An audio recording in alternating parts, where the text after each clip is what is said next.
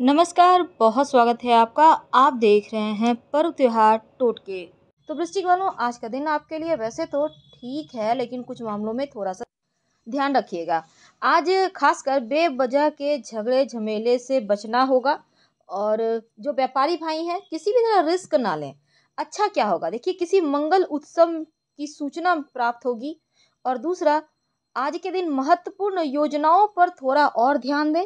जो महिलाएँ हैं उनके लिए आज समय ज़्यादा अनुकूल है। आज आप खुश रहेंगी और हँसी खुशी में ही वक्त बीतेगा। लेकिन जो लोग जॉब करते हैं, पदोन्नति के योग हैं, व्यवसायी भाइयों को आज सफलता प्राप्ति की भी संभावना उनके लिए दिख रही है और दूसरी तरफ़ आज कोई भी कार्य में लापरवाही नहीं करना है और किसी से उधार अगर आज लेते हैं तो चुकाने में कठिनाई होगी।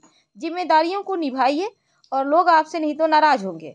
आज आपको विरोधी की बातों में आने से बचना चाहिए। स्वास्थ्य के मामलों में लापरवाही मत कीजिएगा और इस समय आपको, आपकी किस्मत से आज धन प्राप्ति के योग बने हुए हैं और दूसरा, नौकरी में परिवर्तन भी हो सकता है। उसके लिए भी आप तैयार रहें। खाने पीने की वस्तु ज़रूर दान कर दीजिएगा। वैसे तो आज कार्यालय में अपने कार्य को पूरे तल्लीनता के साथ करेंगे और आप, जैसे काम से आपके जो अधिकारी वर्ग हैं, वो भी खुश रहेंगे आपसे। जब व्यापारी भाई हैं, अनुभवी व्यक्ति की सलाह ज़रूर लें। कोई अगर बड़ा कार्य करना चाहते हैं तो। और इस समय लालच बुरी बला है, लालच में आकर कोई भी काम ना करे, वरना हानि होगा। जो युवा वर्ग है, मानसिक रूप से थोड़ा मज़बूत रहेंगे, अपने कार्य को अच्छे तरीके से आप करते नज़र आएँगे। और परिवार में सुख शांति है, थोड़ा सा कमर दर्द की समस्या है, अपना ख्याल रखिए तो ज़्यादा अच्छा रहेगा। अंत में देखिए, मेहनत लगन से काम करने का दिन है, तर्क वितर्क में ना जाएँ, भावनाओं में बह कर कोई भी निर्णय मत लीजिएगा और दूसरा, अपना जो आपका रूटीन है उसको बनाए रखें। अपनी जिम्मेदारियों को भली भती निभाएँ।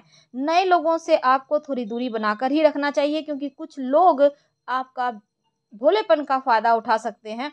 माता पिता के आशीर्वाद से हालाँकि हर कार्य आपका बनेगा तो कोई भी कार्य के लिए घर से निकलते हैं, उनका आशीर्वाद लेकर निकले।